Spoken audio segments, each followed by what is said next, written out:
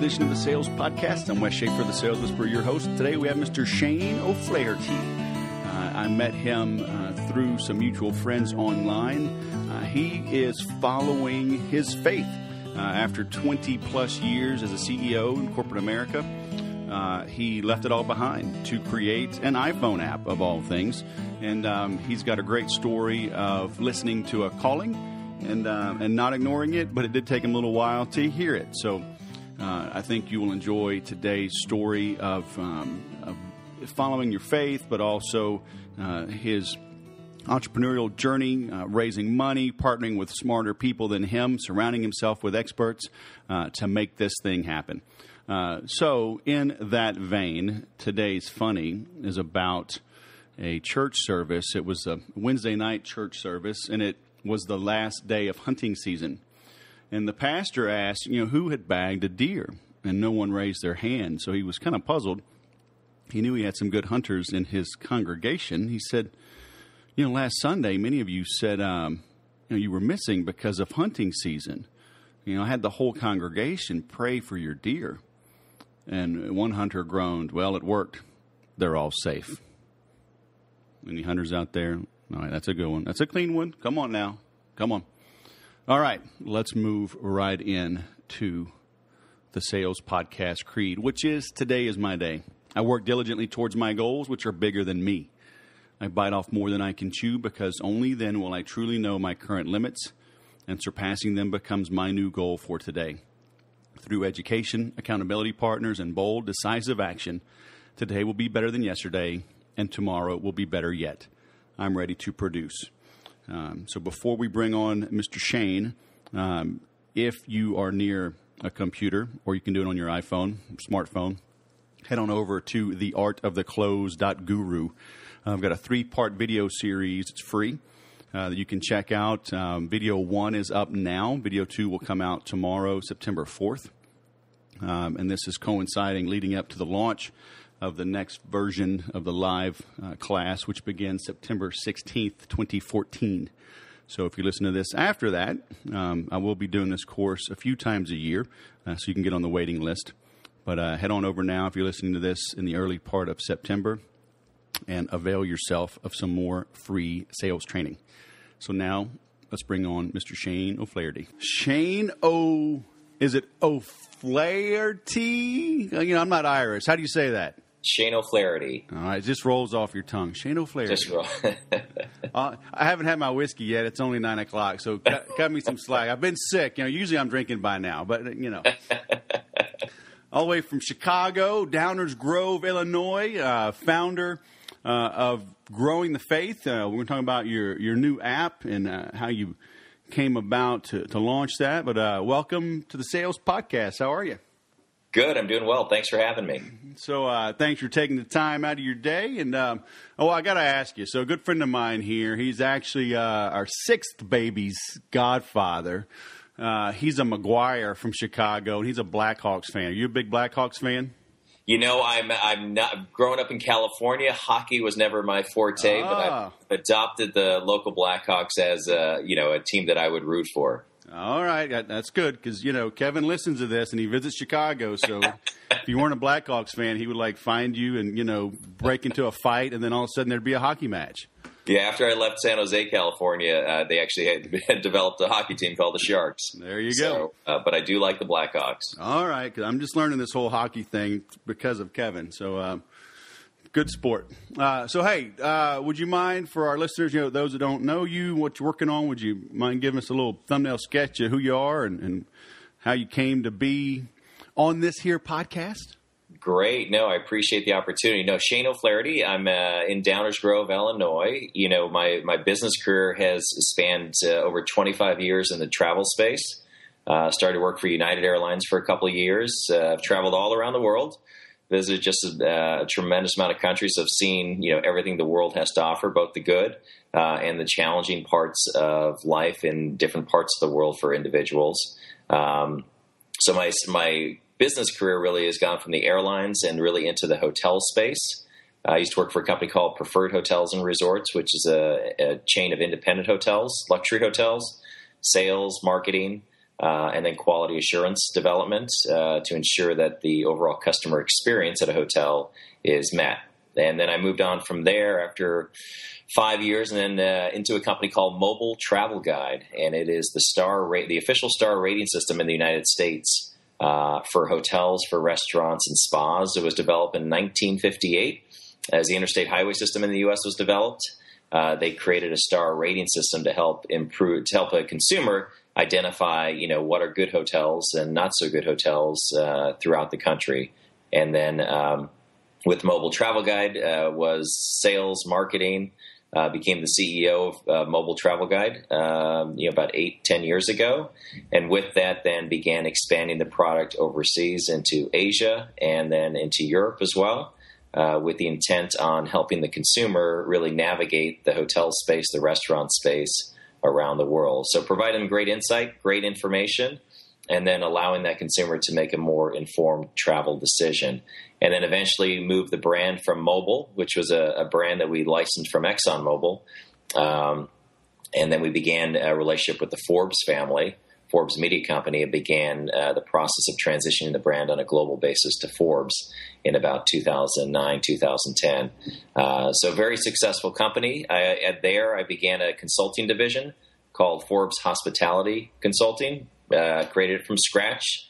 Had an idea, uh, you know, had the opportunity and the investment to uh, build out that company, and then you know, seven, eight years later, it's one of the top consulting companies in the world where all the top independent hotels uh, and chains, whether it's a Four Seasons, Ritz Carlton, Mandarin Oriental, uh, use our services to help us train them on how to improve the customer experience from a customer perspective. So you create a better hospitality environment, people feel better about themselves, uh, and with that, uh, you provide a best, a better guest experience. And then about a year ago, uh, one of my friends, uh, I went to University of Notre Dame, so one of my friends at University of Notre Dame and I had connected. He lives in the Silicon Valley uh, in California, and um, we were working together on a different project. And uh, in June of last year, uh, he's a venture capitalist, invests in a lot of app-related technology and companies. So earlier last year, his parish priest had actually moved on from one parish to the next. So they had a gap of about 60 days without a parish priest. And my friend was on the parish council and said, um, you know, I better look at the technology of, of, what we have here. We're in Menlo Park, heart of the Silicon Valley, and see what we have from a technology perspective and see how I can assist our parish uh, with what they have, and then assist them to see if there's any opportunities moving forward. So what we what he realized was at, at his parish, all the technology at the parish level, the Catholic their Catholic parish worked for uh, the parish staff, but it didn't work for the parishioner and there was no product in the marketplace that had that system of engagement that connects the parishioner with the parish. Um, so he, we sat in a room, and he says, "Hey, I got this crazy idea. I think it w- should work." Uh, again, bear in mind, I was in the travel space at that time for the past twenty years, and he whiteboarded it, and we sat there and we began discussing for two hours about uh, how we believe that we can create a product and create a business around it that can help advance the cause of growing people's faith and in that creating an evangelization tool for the marketplace that helps people grow in their faith and then also creates other modules that simplify and make life more efficient for the uh, parishioner themselves. And uh, so then we connected with an- another individual named Ryan Krieger. And Ryan had created a company called Little iApps, which is out of South Bend, in Indiana. And they were the thought leaders, one of the thought leaders in the religious marketplace in creating apps. So they created the Confessional app uh, a couple of years ago. They created the Missio app for Pope Francis. Um, and they also created a Rediscover app for the Archdiocese of St. Paul, Minneapolis. So the three of us really connected, um, you know, in late summer, and then began the process of building out a business plan for our company. We called the company Growing the Faith, and um, with that, then in November of last year, we raised some capital um, so it was a for-profit, kind of a social enterprise, uh, raised some capital to get the company off the ground, and then in um, you know, and then Ryan began his process of building the product from scratch. And the product that we created was called One Parish.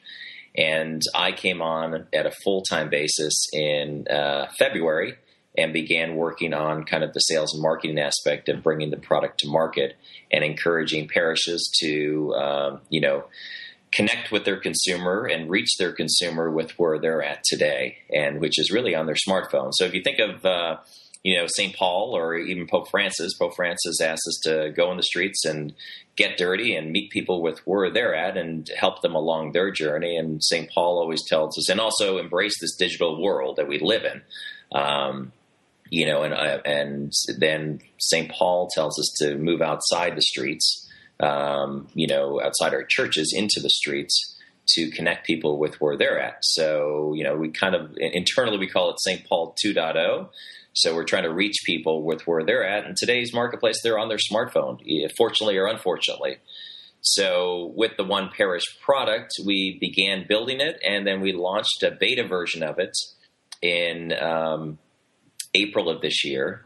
And we started with four parishes inside the Diocese of Joliet uh, St. Mary's of Gostyn, uh, Divine Savior, St. Isaac Jogues, and uh, St. Joseph's uh, in Downers Grove and Hinsdale were, you know, you know, as I met with them, they Im- immediately gravitated towards the product and said, "We'd love to have this at our parish because we know we need it, uh, and we need to reach um, the individuals. First of all, that's you know to be more welcoming to the outsiders."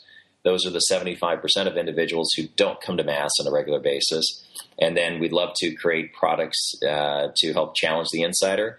And then at the end of the day, make life more efficient. And all the research we did on Catholics, active Catholics in the marketplace, what they asked of the product that we created is please make my life more efficient. Uh, because within my parish, there's a lot going on and I need to be aware of all that's going on. But today it's through emails and calendars, and uh, there's nothing easy for me to access my parish. Uh, and I actually have to be proactive to go to the website as opposed to I'd like it pushed to me uh, in a way that's useful and relevant to me. So we began the process of uh, launching it. Uh, so we spoke at the masses, you know, as an example at St. Mary's and Divine Savior, St. Isaac Jogues. And then we handed my family, we handed out download the app cards at the end of Mass. And the reception from the parishioners was absolutely amazing. They loved it uh, because we're really trying to meet them with where they're at from a technology perspective. And they're already there. Most people have smartphones, most people use it. Unfortunately, most people look at their smartphone over 100 times a day. So, uh, how can we provide them with great Catholic content?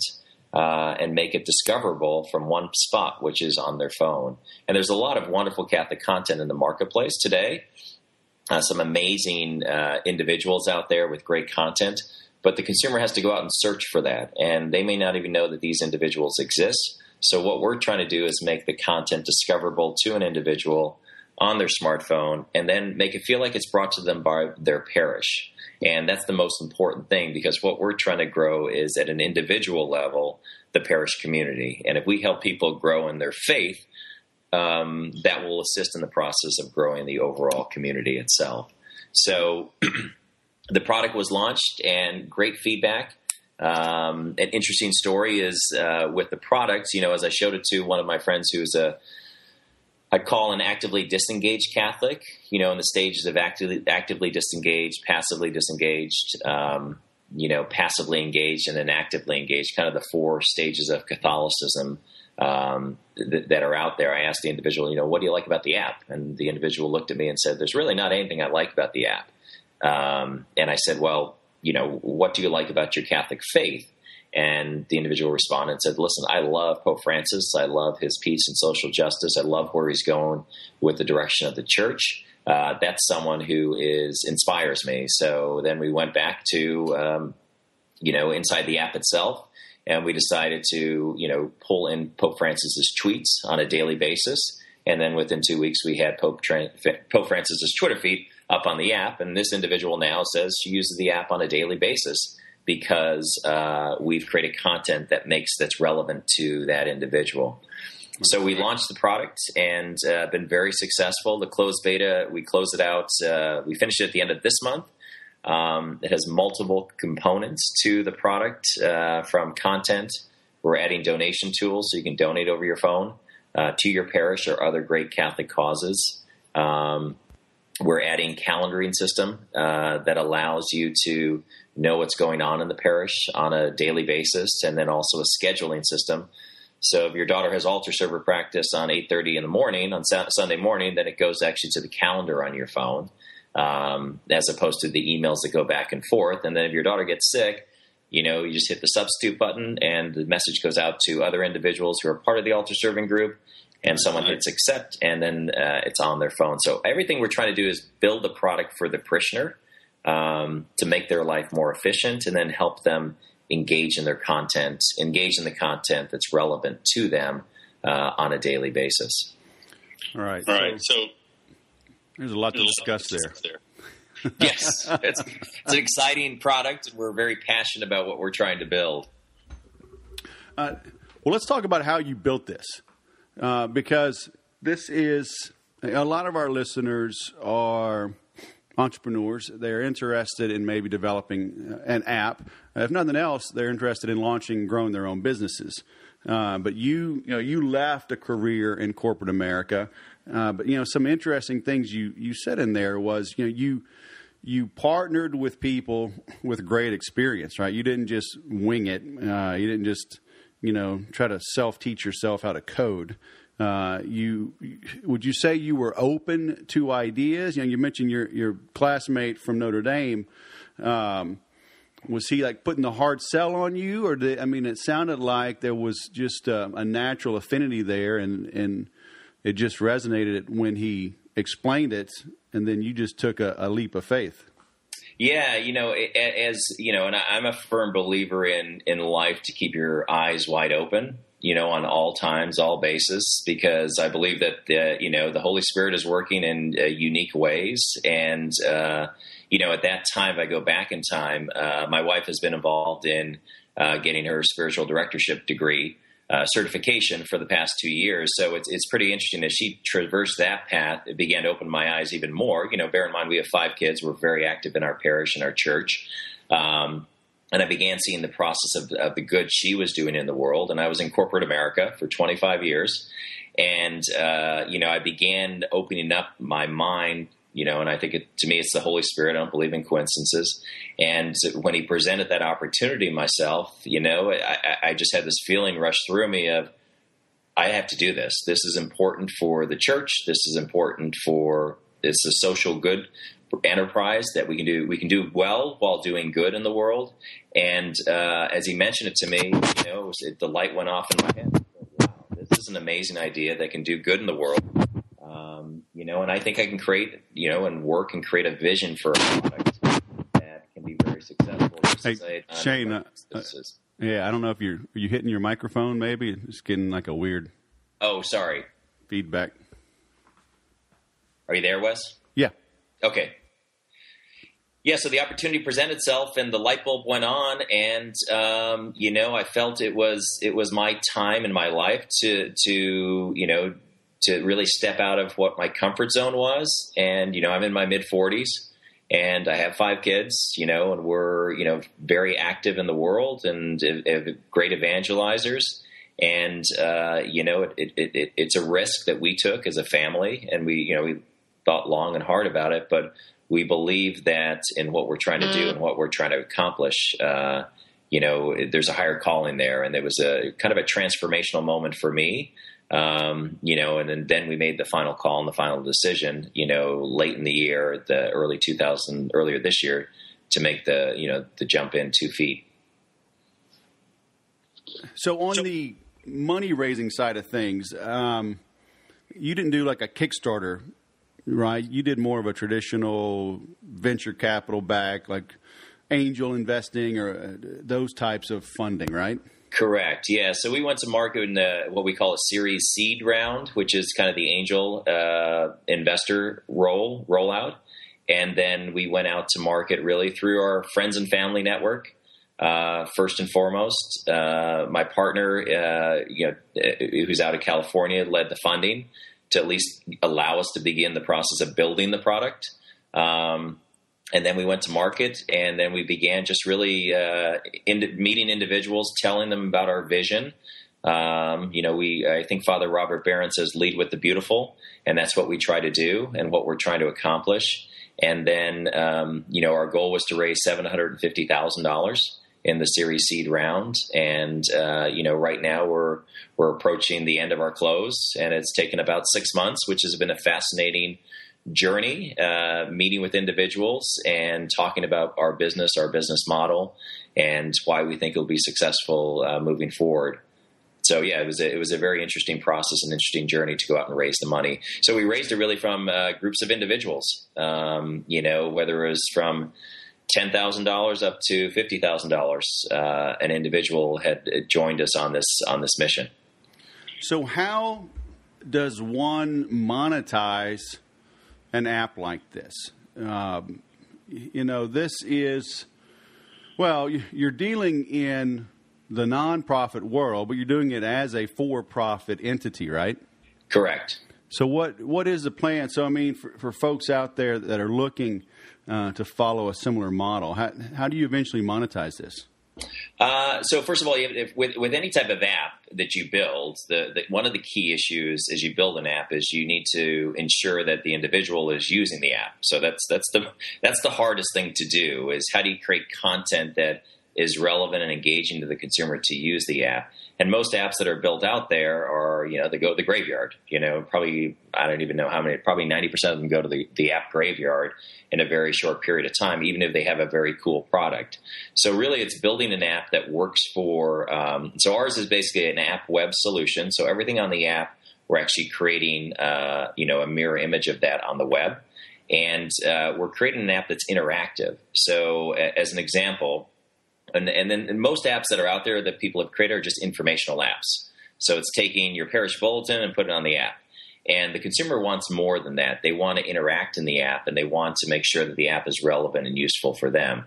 So, a perfect example is we're creating this content stream that says, as a parishioner or as a Catholic, I can um, I can say I want to be a better father, mother, daughter, sister, and what we're going to do is proactively send you snack size content um, you know, on a daily basis that allows you to engage in your faith, uh, that help you be a better person based on the role that you pick. So consumers want to really interact. So the, the, the key issue in developing an app is really making sure it's usable and people want to go back to the app on a daily, a weekly basis. So, um, that's one of the key issues with it. And then with uh, creating the web solution to that is the the concept of you know with with Catholics, here comes everyone. So you want to make sure that you're fulfilling the need of everyone in the Catholic space. And then we built a back end SaaS platform for the parish itself. So any Catholic can use the app, download it, they can donate to their parish. And then if the parish wants to join, then uh, we connect the dots with the SaaS platform on the back end to the parish. So you create products in our world. We want to create products that that fall into the vision of helping people grow in their faith, and then the useful tool aspect of it is then creating tools for the parishioner that uh, are useful for the parishioner, but also there's a potential revenue stream there. So, as an example, um, with uh, donations, we take a small percentage of rev share of any donations that come through our platform. Uh, so that's a way for us to, um, you know, earn revenue. And then the other side of the coin is your parish. You know, in a, in a typical parish, as an example, they have a parish bulletin. You know, where there's advertisers in the parish bulletin, and some parishes have up to my parish has 60 advertisers. Well, how do you take that content and then bring it to the consumer in a useful, relevant way using using the app? So we've created, or we're creating a parish business listings directory uh, on the app that allows uh, advertisers to advertise in there. And then as a parishioner, then I can search by, you know, lawyer or plumber or restaurant, whatever it may be, and then have access to that content 24 7. So those are our two main revenue streams. There's all these other ancillary revenue streams um, that we can go from there. But, we, you know, we offer it to the parish for free, the software, and then we offer it to the parishioner for free. Uh, and then we can build revenue streams and revenue models inside of that to um, you know ensure that we're successful long term you know for our investors you know because they want a return on their investments uh, and we believe we've you know can build that model to you know build a great product and then do well from a financial perspective as well. Well and that's why i wanted to have you on. Me i got the app. It looks fantastic. But you know for for our listeners uh, who are not catholic which is probably most of them you know the lesson here is if if you can sell if you can make money through Catholics, you can make money anywhere. Because Catholic, I don't know, man, we're just like a weird bunch. Um, I, so I, have tried creating uh, business networking groups uh, through Catholic uh, parishes, and all anybody wants to do is discuss the faith. It's like, can we share a little business leads with one another? So right. if you can get these, I, I think the the the biggest and the second biggest groups of Christians in America are, are Catholics and former Catholics. yeah. Uh, so if you can get these lukewarm people uh, involved and engaged, and get these nonprofit entities, you know, the Catholic parishes, get them involved and engaged, uh, then you've got a model that'll, that'll spill over uh, into anything. So that's why I, you know, I, I, like this story, and I wanted to help you get the word out. Uh, but is it? Yeah. Um, yeah, and Wes, I, I, think well, you know to advance the cause of uh, in this in the entrepreneurial world, and to advance the cause, of course, to grow the faith, to do all that. You know, everyone has to really try to work together in the sandbox. Have have to work real well together, and especially all this new technology companies that are out there. It's um, you got to work well in the sandbox, and I think in the past, I think one of the challenges is at least in the at least what I'm learning uh, in the Catholic space because I'm new to this. I'm really you know from the hotel space is you know how do we all work together in the sandbox to advance the cause of the church or to advance the cause of you know whether it's the church or other business entities. You know, there's ways to work together that we can make progress uh, as opposed to as opposed to not. So it's pretty interesting to you know. So what we're encouraging or what we're trying to encourage all these other profit and nonprofit companies in this space is let's try to work well together to advance the cause. And if you advance, if you do good, you know you'll do well from a financial perspective. We're all working together. Um, you know, so it's it's an interesting paradigm shift because everyone likes to hold on to their territory, um, and sometimes that's good, and sometimes that's bad to advance the cause. Well, what would you say to somebody though that doesn't have the ability to raise seven hundred and fifty thousand dollars uh, to launch their business. Um, have you learned? I mean, going through this now, are there any anything you would have done differently, or is this kind of just the nature of the beast uh, for the program you're releasing? Well, I, I think for the, the, amount of dollars is, uh, I think if you if you can create a vision, you know, and and and lead with the beautiful, create a vision for what you're trying to accomplish. Um, I think there you can always find a financial way to make it happen. Um, you know, and I, I, look back to my dad who, you know, moved five kids from, from Ireland to California. And he was a hotel general manager in, in Ireland. And then when he moved to California, he was a circus promoter and a rodeo promoter. So he understood his strengths of who he was and his spiritual gifts. He understood who he was, and he understood, you know, regardless of um, the hurdles or the impediments, you know, you, you continue to you need to press forward. And then for my father, as an example, he moved from being a circus and a rodeo promoter to launching a car rental business. Uh, then he worked for the Northern Ireland government. So, you know, and in each iteration, I think of your entrepreneur world, you really have to reinvent yourself. And within the context of reinventing yourself, it's creating a vision for you know what you're trying to accomplish. And if you can create the why, uh, and then you have the what and the how. If you create that kind of vision and narrow it down, then um, you know I think you, there's a, a, path to success, regardless if you're raising seventy five thousand dollars or you know twenty thousand dollars to get a concept or idea across the ground.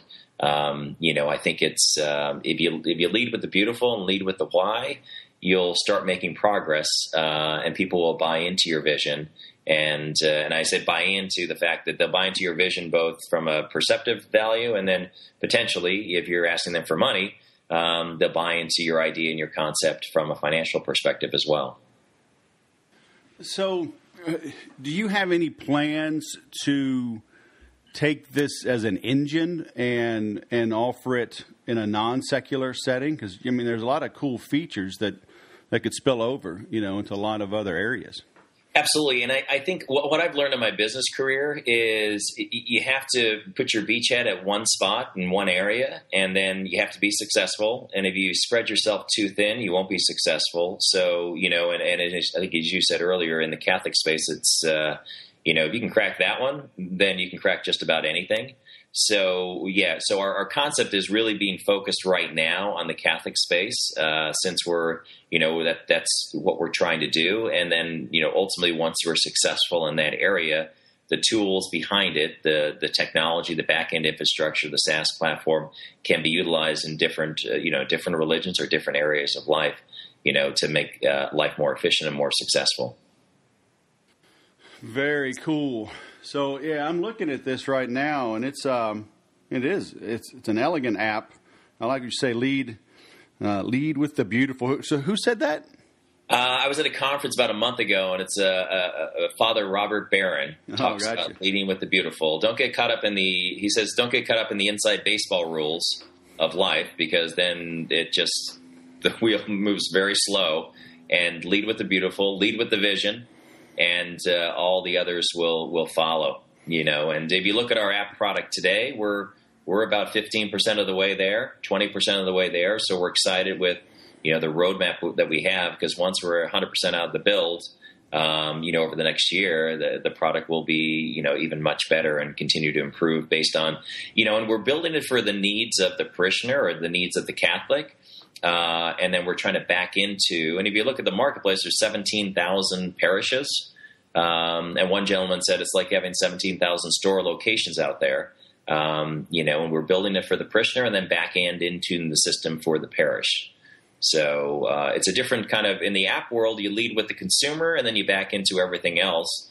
And in your typical back end desktop software world, you, you build it for the staff or the technology for the staff. Um, so you, we try to switch the paradigm in this in this new world that we live in. So walk me through uh, the business plan, uh, and because I'm always encouraging entrepreneurs write a business plan on a napkin and then get going. Uh, you know, I learned you know, in the military, you know, they say no no battle plan survives contact with the enemy. You know, but you still have to plan. Right. Uh, so um, you, you, had a lot of experience. You know, your, your buddy, this, this VC back guy, a lot of experience, and you bring in uh, Ryan with a lot of app development experience. So, you know, were, y'all making these 83 page um, business plans, you know, or was it a, a one, two, three page type and, and you knew the general direction and got after it? Yeah, well, we, we, we built out the why first. You know, what, what is the mission, the why behind the mission? And that was a two page uh, document, a Word document that we built that out. So that was, that's our, that was actually our starting point. And so why are we doing this? Why are we in this space? What's our, what, what's our goals? What's our vision for the product?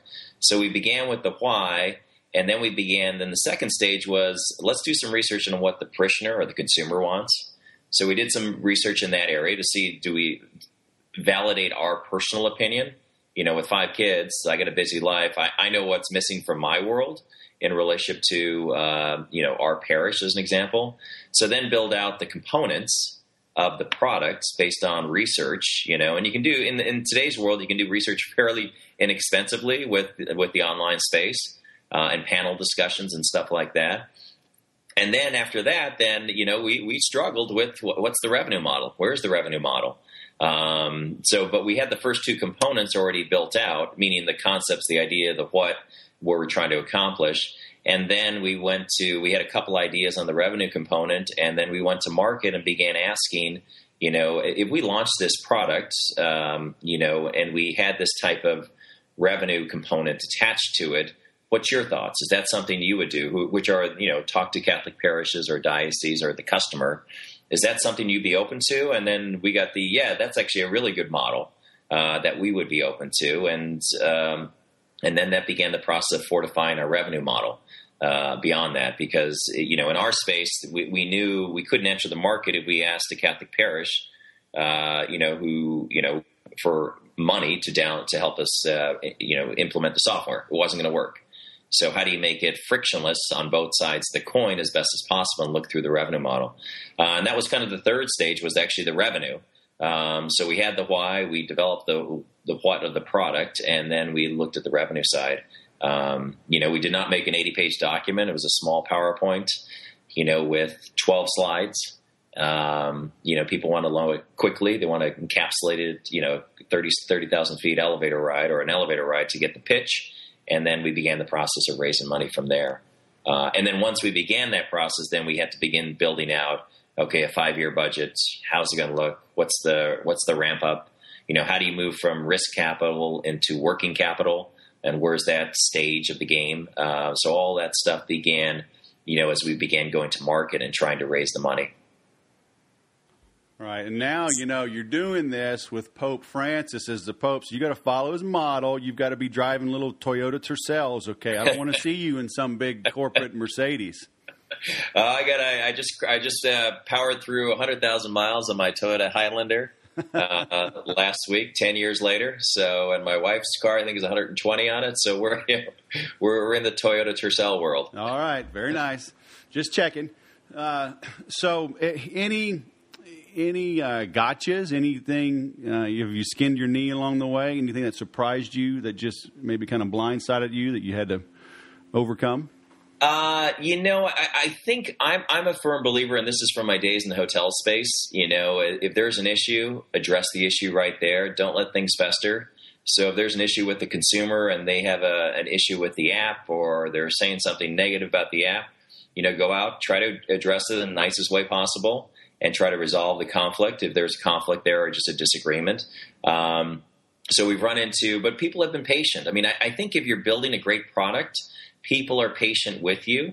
Um, you're going to have some hiccups. You're going to have some issues. Um, you know, and we've ran into plenty of those as we're, you know, you know, we have a thousand people download the app in the in the beta from the couple parishes that we're at and we work through all those issues on the front end, you know, uh, with the consumer, and then on the back end with the, uh, you know, with the parishes themselves. But uh, yeah, but you know, would, I think I think we wouldn't you say people are people are more patient when they don't pay for something? Yeah, very true. And then you tell them it's in beta, you know, and if they give you a hard time, you're like, listen, this is a beta project. Now that will get harder you know, as we roll out a beta into, you know, uh, you know, where people are less forgiving, but uh, at the same time, you know, um, you know, if you can address their concerns, meet them with where they're at, um, you know, and someone talks to, if you resolve the issue, someone will talk about it in a positive way. If you never resolve the issue, it's going to fester out there, and that's the last thing you want. So that you know, just dealing with issues, uh, you know, technology issues, um, you know, we, we we've dealt with and still working through, and um, you know, and then just uh, having patience having patience in the process. It's it's it, that's probably the more challenging part because you know you want to build it as quick as possible uh, and put as many bodies behind it as possible. But then you, from a financial perspective, um, you know, as you raise money, as you raise that money, you know, to build your product, you have to raise money that gives you enough runway for, you know, probably an 18 month period, uh, even a 24 month period. Um, you know, to figure out the model to see if it's going to work. Um, so when you raise money, you're raising money for probably the next 18 to 24 months um, to ensure that you, you can, um, you know, go with the blows as they come in and try to find the, the, correct business model and the revenue model to make money. So when you raise money, it's not you don't spend it; you have to spend it very wisely and conserve your cash, um, and you know, and uh, make sure that you have enough cash for 18 months to 24 months to make it happen. Um, you so, know, that, that's a hard, that's hard part have there been any surprises there? I mean, have you have you been hitting your numbers? That did you raise seven fifty, thinking you would only need two fifty, but you might as well go get more than you need? Well, I think I think the concept is the you know um, I think one of my colleagues says you need if you have a, if you, it's a two mile runway, you probably should get a four mile runway um, you know, to land the plane just in case. Um, so I, I, think, you know, for us, we'll probably spend the, you know, the, the money that we bring in, but it will be over a, an 18 month period. Um, so yeah, so it's, uh, that's been challenging, you know, and really trying to figure out, okay, eh, eh, you know, as the entrepreneur, okay, when do I start taking a salary or when, do, when, when can I take some money as well? Um, that takes the money, but uh, you know, I'm working hard but then, you know, from a business perspective, I, you know, there's what I want to be paid and what I need to be paid, and there's that's a that's a gap. That's a gap and a gulf there that you have to, as an entrepreneur, then realize that and stretch yourself as much as possible. Um, you know, even though you've raised the money, that doesn't mean I can spend the money. Um, you know, I need to spend it wisely over a period of two years of time. Right. right. Have y'all had any problems? Um I know there's always the the debate in in any faith, you know, certainly a Christian faith of, you know, does God want us to be poor, the meek shall inherit the earth, or does He want us to be successful? You know, with the the parable of the talents, and you know, one guy buries his gifts, and you know, basically gets beaten and thrown into prison, right? Right. So, how, how do you how do you balance that? You know, saying, hey, you know, ultimately our goal is to serve a, a billion people and maybe have a billion dollar company, you know, versus, oh, we need to be meek and humble and, and drive Toyota Tercels. Well, I, and I think Pope Francis says I think there's a there's a fine line there of um, you know you know the capitalistic world that we live in is helps advance the cause you know of capitalism and you know and if you if you earn money then you you know at the same time how do you do good and good deeds of service and acts because if you put just money behind something, you know, it may not work, but you have to incorporate the deeds of service and acts and stewardship uh, to help. So it's it's that balancing act of you know, but can you do both? Can you do well and do good and do good in the world at the same time? And that's a, this new generation of what we're seeing, um, you know, of what we would call new social enterprises, where you know, and companies, smaller companies that are coming out, um, you know, are trying to find a way to do well and do good at the same time. So this uh, this this generation of millenniums that are coming through are actually trying to find a way to create social enterprises that do both. And can you do both? Sure, you can. You know, but if you focus on the vision first, everything else will follow. And then, you know, as, as a good steward of your money, you need to be a good steward for your investors, and then good good steward for your cause, and finding ways to to give back and finding ways to, you know, also at the same time help people grow in their faith journey, you know, um, overall. And you, you, can do all three. There are all these different threads that can come together, but you have to put all these pieces of the puzzle together. Um, and that's, you know, making money is one component of the larger piece of the puzzle. Right. But you got to make money because, um, you know, that's the way of the world, unfortunately, is you have to make money to continue to invest in your product and to grow your product. Otherwise, your product's in a graveyard. And you had a great idea and a great concept, but you, you, you couldn't you couldn't move the ball down the field, whether it's financial or other issues, and uh, and you need cash to do that. And I, I think Pope Francis recognizes that. Um, you know that you need to make money, and then but then what do you do with your money is the next stage of the process. Right. Uh, well, this has been fantastic. Where, where, can people find you on the web? Where do you, where do you want people to, to visit you? Yeah, our web platform is oneparish.com, O-N-E parish.com. And then, uh, you know, on the App Store, we're on Google Play, uh, One Parish, and then we're on the App Store for your iPhone, uh, One Parish as well as the name of the app. And then we ask anyone to download it, provide us feedback. We'd love your thoughts. And, um, you know, we're excited about the uh, journey that we're we have undertaken, and excited about the direction of uh, how we think we can help uh, grow the faith. Hey, amen, brother. Well, uh, thanks for taking the time. Uh, good luck. I've got your app on the phone. I'm checking it out. Uh, and uh, do my little small part to help you succeed. So I appreciate you coming on the show. Thanks for your time, Wes. All right, man. Have a great day. Cheers. There you have it. Um, did you notice early on he talked about how they, they whiteboarded the idea in about two hours they knew they were onto something. You know, when the moment strikes, run with it. You know, uh, that type of creative brainstorming. Uh, got to flesh things out with good people. You know, surround yourself with good people uh, and and drill down, map things out, kick it around until you know that you're onto something, or maybe you know that you're not. Okay, but they they dove right in. But then when they knew they had something, um, they started to raise the capital. Uh, they worked with somebody with experience uh, in developing these types of apps. Uh, and then you know, notice what he said later on. You know, lead with the beautiful. Okay, create a vision for what you want to accomplish and lead with the beautiful. And I've learned this over the years as well. You know, that's a nice way of saying uh, it's ten percent product and 90% promotion. All right. Now, we're assuming you have a good product. So I'm not saying you put crap out there. Uh, but making a better mousetrap is an old wives' tale.